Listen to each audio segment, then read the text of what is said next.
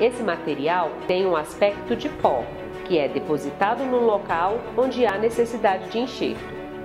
Uma membrana BioGate é utilizada para proteger o enxerto e favorecer a recuperação. Pronto, o enxerto foi feito e os implantes podem ser fixados.